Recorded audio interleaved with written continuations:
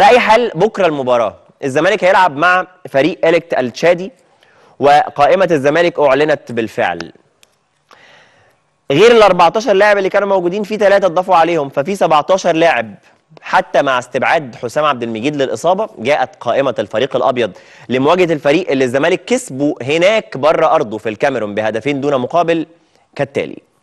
قائمة جسوالدو فيريرا بتضم محمد عواد في حراسة المرمى محمد نديم والسيد عطية. خط الدفاع محمود حمدي الونش محمد عبد الغني محمد طارق رجع من المنتخب الأولمبي محمد عبد الشافي عبد الله جمعة. يعني عندك خط دفاع مكتمل. عادي الونش وعبد الغني اتنين مساكين عبد الشافي أو عبد الله جمعة شمال ومحمد طارق ناحية اليمين. ده لو انت يعني ما خليتش آه، سيد عبد الله يلعب back يمين. خط الوسط محمد أشرف رؤى يوسف أوباما محمد حسام بيسو يوسف فاروق جعفر سيد عبد الله محمود عبد الرازق شيكابالا أحمد مصطفى زيزو وفي الهجوم يوسف أسامة نبيه وحسام أشرف.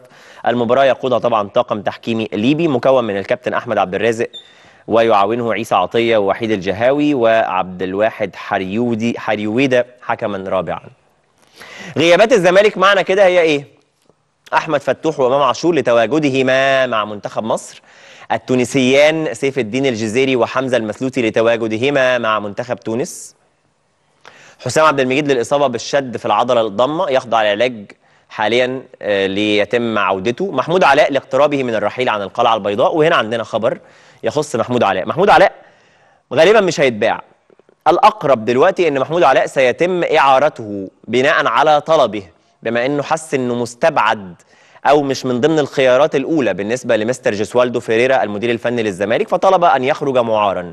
والزمالك مش معترض على كده عشان كده مش ظاهر في قائمة الغد وعلشان كده غالبا هيطلع إعارة. فين بقى؟ جوه مصر ولا بره مصر؟ هنشوف. هل إعارة بنية بيع ولا إعارة بس؟ هنشوف. لكن ده اللي ماشي حاليا داخل القلعة البيضاء. بمناسبة الزمالك عندنا كلام لفيريرا قاله لأنه كلام حلو قوي لكن هنستعرضه كمان شوية ضمن الأخبار. لكن بمناسبة الزمالك سيف الدين الجزيري عادت قصته من جديد. سيف الدين الجزيري في موسم 2021 في نهايته النص الثاني منه انتقل إلى الزمالك معارا حسبما جاء الإعلان الرسمي من الزمالك ومن المقاولون العرب بنية البيع لمدة ستة أشهر مقابل 8 مليون جنيه قابلة للتحول إلى بيع للزمالك من المقاولون مقابل 12 مليون جنيه. ده قلناه من سنة ونص والزمالك اعلنوا والمقاولين أعلنوا فما كانش اجتهاد من الناس يعني. ثم انتهى النص موسم كان وقت اللجان الموجودة في نادي الزمالك.